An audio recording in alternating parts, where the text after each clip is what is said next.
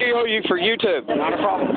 Okay, hey, I'm Vince Easley from What Matters Worldwide. How you doing? Nice to meet you. UCY.tv. Can you tell, uh, are you filming too? No, Let's I'm do it together. just gonna take a photograph right now. Okay. Um, can you tell us uh, who you are and, and why you're here? Yeah, my name is Robert. I'm just here because uh, I was here from the beginning. Las Vegas came down uh, to help the Bundys get their cattle back, and since we did that, we're still here to support till this is over. Just letting know uh, tyrant politicians and uh, motives that it won't be tolerated anymore. You know, everybody's sick, sick and tired of the attack on Second Amendment. Everybody's talking about cattle. We're talking about First Amendment rights. I understand everybody's not in an uproar over First Amendment rights when the government tries to corral us in a First Amendment zone. It makes me get my First Amendment zone keeper out, and we come here with the people said we had a deputy. Helping us? Yes, sir. I'm glad. Absolutely. Thank you so much. But um, that's what we're doing. Everybody doesn't have any idea what's going on in the country. It's not letting the country know what's going on. You know, only. I'm here. I'm streaming live and people are watching. Oh, awesome. Yeah, that's exactly. Uh, Kim Bear streaming live. Check her out. Find her. Do a search engine on her. You know, it, thank God for uh, real media like you guys um, who's putting the word out because the mainstream propaganda bought big business uh, media is only going to put missing airplanes and talk about murder trials in Australia over some guy who, you know, so who cares about that? Are you still talking about the airplane? Nonstop. CNN, the Communist News Network is just still going over and over with that. What about Fox? Are we talking about the airplane?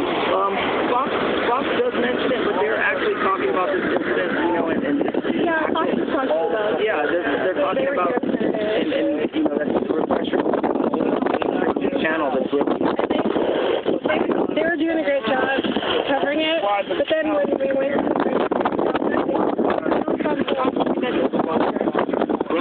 when there was major standoff, like here, and they're like, oh, it's over, everybody went home. Right, and that's when we, uh, that's when we really, when they announced it was over is when it began. Really. That's when we all went out there on the hills, and they didn't even show the full angle. You know, they showed the Bundys and the family and, and, and the rest of the protesters, which is fine. That was the plan.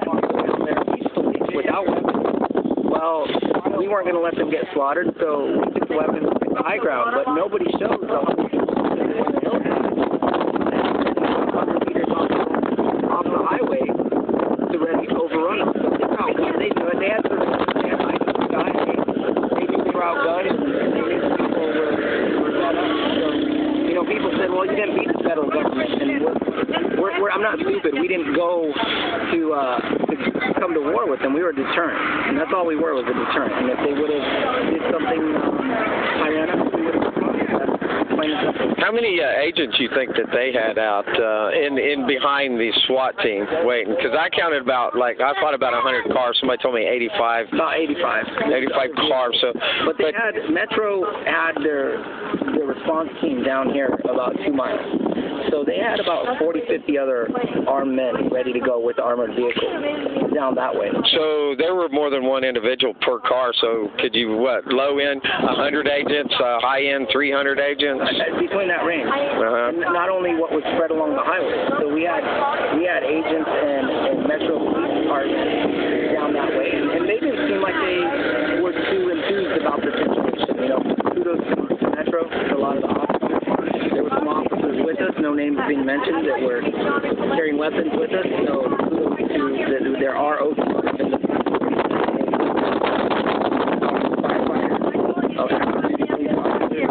to be named. They won't be named, but they were there with us. Las Vegas. And you've been staying here for how long? Uh, we were here the first three days. Then we went home and uh, been stand, on standby for the contingent that still is around the mountains.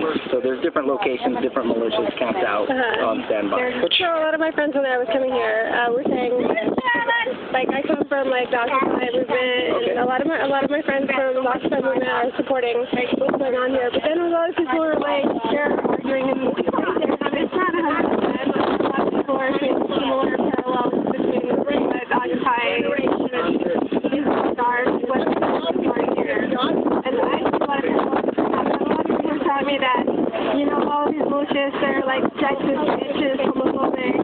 And how would you like respond to that? Um, PM Bears. funny about that. Um, you see a lot of family members. You see women here that were standing right next to us. I We saw young women. I saw women and militia members I on did- horses too. I was in the back of a truck with a woman who's here holding an AR-15. We don't care. I don't care if you're gay. I don't care if you're wearing wear- rainbow fatigue. You're standing Where can I get some of them? We don't care about that. We're Americans, and we do. We're protecting those freedoms. If they came against a anti-feminist movement or a gay movement and restricted their rights, we'd be here just like if they're rancists or not. That's what really got us mad is when we saw the overstepping.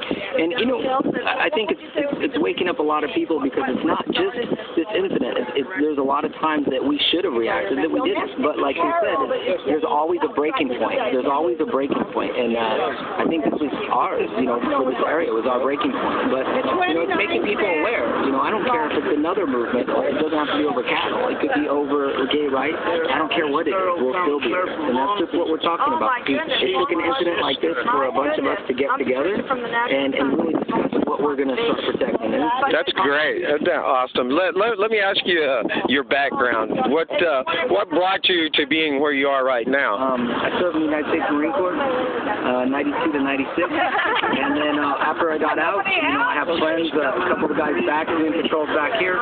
They just got out. And there's a couple active duty ones that are still serving that took leave to be here. Um, so it's, it's really taking an oath and, and understanding serving in the government, seeing how everything's being deteriorated. Second Amendment, Fourth Amendment, you know, rights to search and seizure, all these drones, all the NSA spying. We're just losing our rights. So somewhere, somehow, we got to wake up and start stopping what's going on with these political. Uh, there we go. So we have to pause for a second. I want you to see the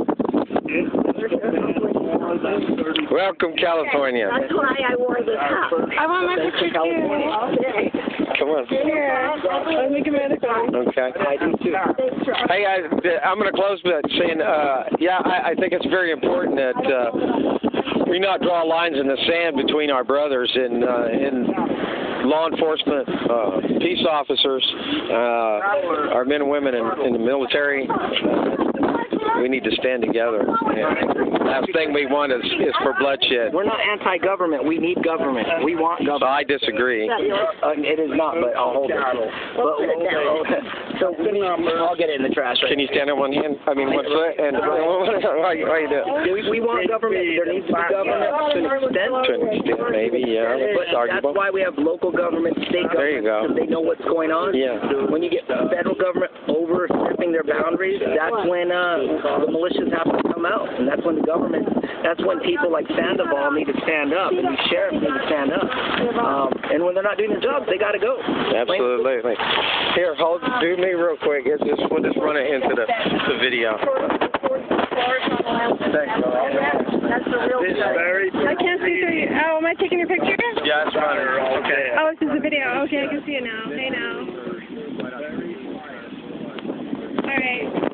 All right. All right, I'm gonna give you my camera. Let me stop mine. Can you take a picture of us? Yeah, absolutely.